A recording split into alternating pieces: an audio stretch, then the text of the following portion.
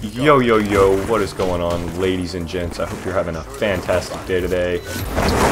Right off the bat, let me just apologize for not uploading yesterday. I was super, super busy, and I tried, and it just, I couldn't get a video out. I wanted to upload a quality content video, and it really just didn't work out. So what I wanted to talk about in today's video was actually something that I don't know it's true. My money is, I think it is, but nothing official yet.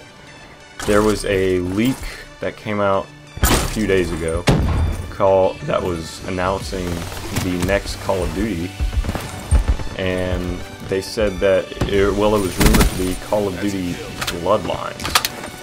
Now you can take the word Bloodlines however you want it, but to me, what I'm thinking is it'll be more of an old school or an older style Call of Duty, and it could possibly have something to do with a previous character's family, thus the name Bloodlines.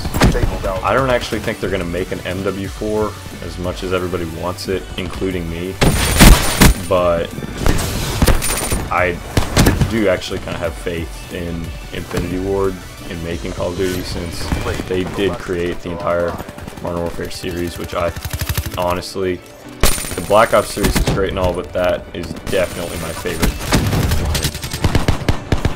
But before I go and actually make any assumptions, I most likely will be getting the new game as long as it doesn't have the new thrust or exo boost or whatever you want to call it, like the new movement systems.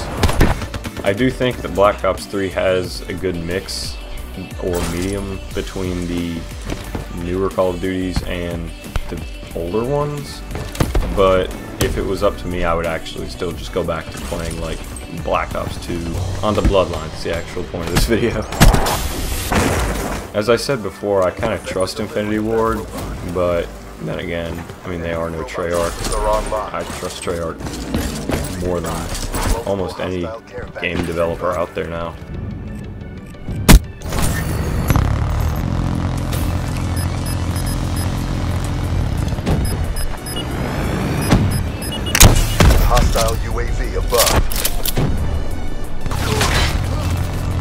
Fuck just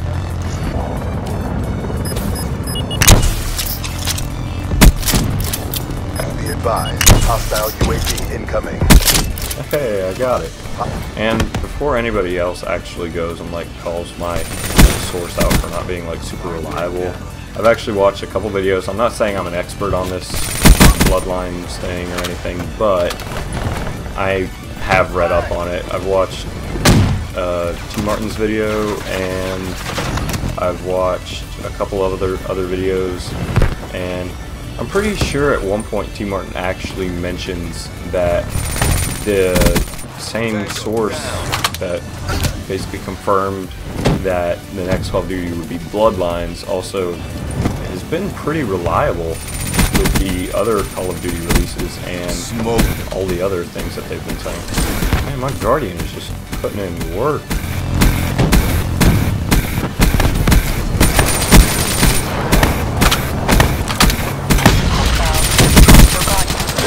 Now, at the end of the day, yeah, I most likely still will play the next Call of Duty as long as it isn't like another Advanced Warfare. Because honestly, I don't think I could do another year of Advanced Warfare.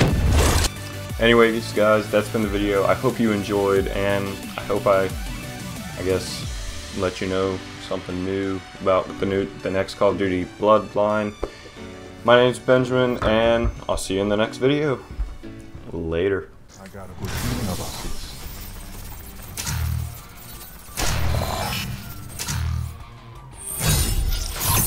You want to take care, leave it with that. I don't know why I thought I would get something different.